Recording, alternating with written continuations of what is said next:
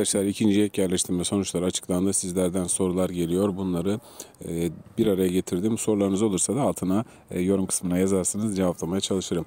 Şimdi istemediğim bir üniversiteye gittim hocam bunu değiştirme hakkım var mı? Bu şu an için mümkün değil sevgili arkadaşlar.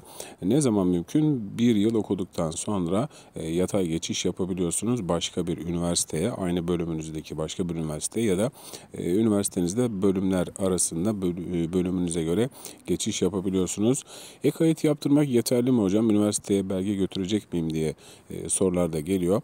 E, E-kayıt yapmak yeterli. Tekrardan e, üniversiteye gittiğinizde bir kayıt yaptırmanıza gerek yok. Fakat e, üniversiteler, bazı üniversiteler e, bazı belgeler isteyebiliyorlar. Onları da kazandığınız üniversitenin internet sitesinde gerekli duyurular var. Oradan bakabilirsiniz.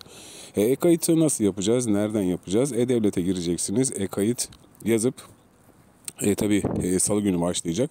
E, bununla ilgili nasıl yapılacağına dair e, birinci ek yerleştirmeden YKS'den sonra e, e-kayıtlar yapılmıştı. Onunla ilgili bir videomuz var. Örnek videomuz adım adım anlatıyoruz. E, onun da linkini buraya bırakırım. E, yurt ve burs en çok gelen sorulardan yurt başvuruları, KYK ve burs başvuruları ne zaman olacak diye. E, bunlarla ilgili Gençlik ve Spor Bakanlığı, KYK e, Genel Müdürlüğü duyuruları yapacak sevgili arkadaşlar. Şu an için onları beklemekteyiz. Peki üniversiteye ne zaman gidebilirim? E, 26'sında e-kayıtlar başlıyor. Kaydınızı yaptırdıktan sonra e, okulunuza gidip başlayabilirsiniz. E, kayıt dondurmak isteyen arkadaşlar var. E, kayıt yapmasam olur mu diyor. Ben zaten kaydımı donduracağım. Hayır kayıt yaptırıp ondan sonra dondurabiliyorsunuz sevgili arkadaşlar. E, bunu da söylemiş olalım. E, ikinci öğretim ücretleriyle ilgili çok soru geliyor. Bunlar kılavuzda yazılıydı. E, hangi bölümün ne kadar ücreti olduğunu.